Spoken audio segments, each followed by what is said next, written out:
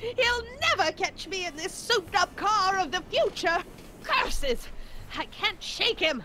Well, no use in holding back now. Let's see what this baby can do. And here it comes. Yes? Uh, Here what comes? I, Uh-oh. uh, I, I don't know. Something really unexpected is supposed to happen right about now, but I'm not sure what. Oh, come to think of it, how can I be expecting something unexpected? Uh, oh, what's going on? it should be Japan. Quick, Marty. We've got to find a way to push the story along before she snaps out of her reverie. Um, I have no idea what to do now. Can I get a hint, please? Here they come! The lights! I'm being transported Where? back! Back where? Back! To the past! What do you see? Hill Valley! But it's all different. It's so small and primitive. Heavens! Can it be? It is! Is what? Grandfather! Big as life! Marshal James Strickland came to Hill Valley in 1869, shot by... I know, Doc. We met him in 1885. Remember?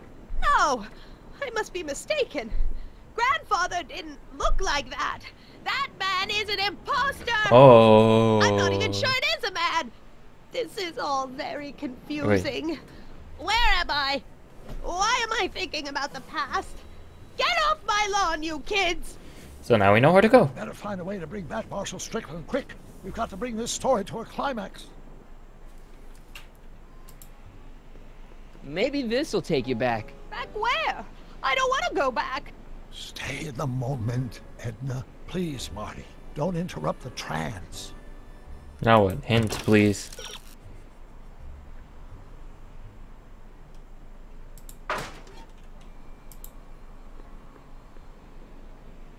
Edna's grandfather, Marshal Strickland. That's the same picture I saw in Edna's apartment, way back, in the future. Use the mop on the cactus. It looks a bit like grandfather now, but he would never have walked around bareheaded.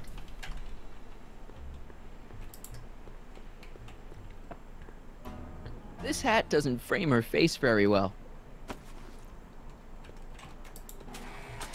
And we use the hat on the cactus. Not bad. Oh, grandfather, how well you look. How well everything looks. How does everything look? Tell me. It's a bit rustic to be sure, but all the buildings are so sturdy and well kept. And the young people of Hill Valley, they're so virtuous and upright.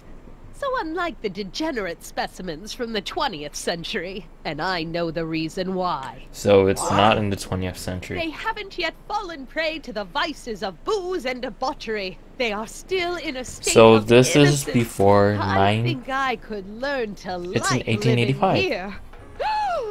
but who's this? Who? This big lout swaggering up the street, lips curled in an insolent sneer. He's a newcomer to Hill Valley. Uh, Beauregard. Beauregard. Tannen. Tannen. Yes! Good Oh my god, guess. her face. Look at. Acting like a big shot. Throwing his money around. Stolen money, no doubt. Why can't they see through him? The two-bit phony! And now his plan becomes clear. He's bought a plot of land in town. He's going to put up a... Uh, Uh, what? I don't know. It's something I don't like. Something A speakeasy. This is the key to our mystery. We've got to get her memory back in the groove.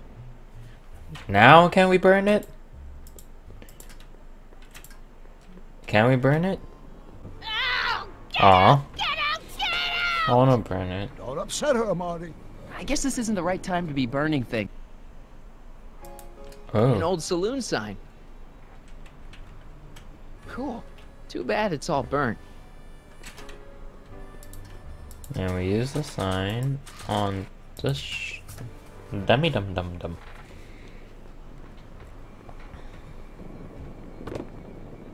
Talk about a watering hole. A saloon? In Hill Valley? Oh, he can't do that! You can't let him do it! You can't let that snake ruin paradise! Well, if they're all too blind to stop him, I'll just have to take the law into my own hands. I'll make sure this sinful establishment never opens its doors. I'll. I don't know what I'll do, but I'll do something. Something very. conclusive. Mm, now? Burn it down? Please tell me we're burning it down.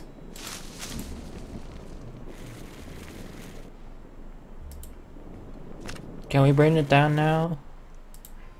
No, you're doing it all wrong. It'll never burn like that. First, we'll need some kerosene. Apply it liberally to the building site. No sense in being parsimonious. And now, watch. Here you go. That's how she, she became the speakeasy arsonist. Beautiful! The devil's handiwork consumed by the fires of righteousness!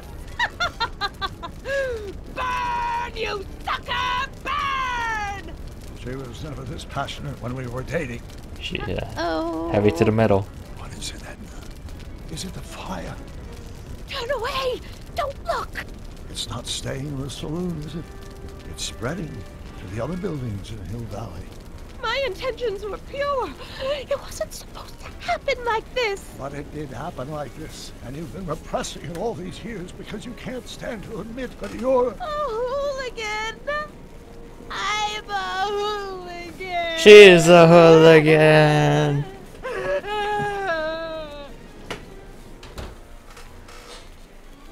Did I Is- lay it are we on gonna- you think? Here's the story. Black and white and red all over. Ooh. Hill Valley destroyed by fire started approximately 2 a.m. July 17th, 1876. Of course, I'm not the real criminal in this story, am I, Mr. Sagan? You set me up for a fall. You and Smirnoff. You made me steal your infernal car. You made me burn down Hill Valley. And now, by the powers invested in Oh, me Lord. by the town of Hill Valley, Well, you're the I only one in Hill hereby Valley. sentence you two criminals Hey. to... You!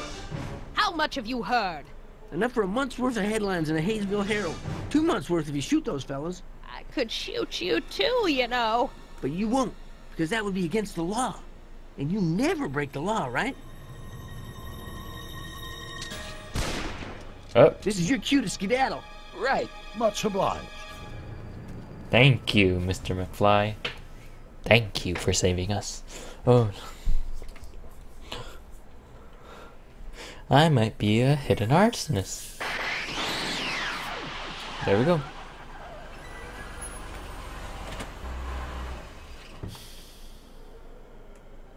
There's Beauregard Tannen's half-finished saloon. Sometime during the next hour, Edna's going to light it on fire and accidentally burn down Hill Valley. I wonder where her DeLorean is.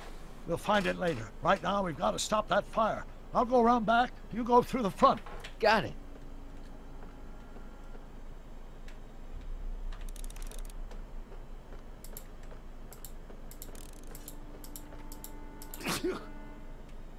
I'd better not get too close. I'd better not get too close. Hmm.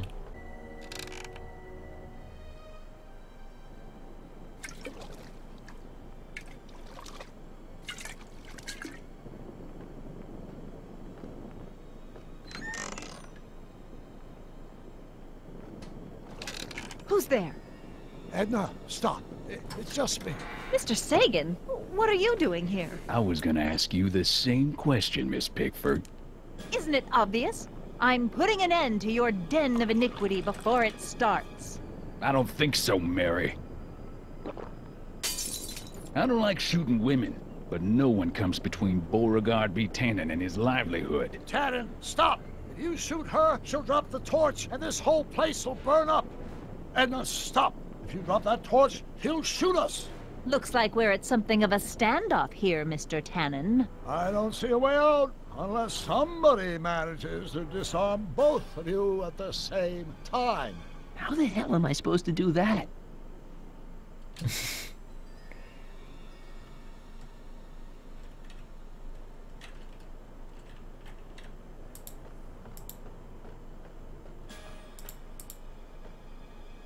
Man, this thing is not light.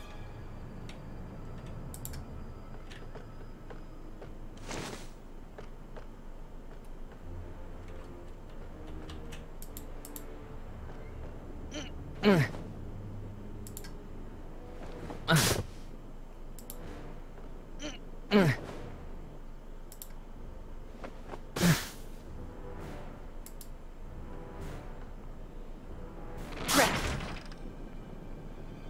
right over his head, but I can't knock him out while Edna's still holding that torch. Why are you so hellfire determined to meddle?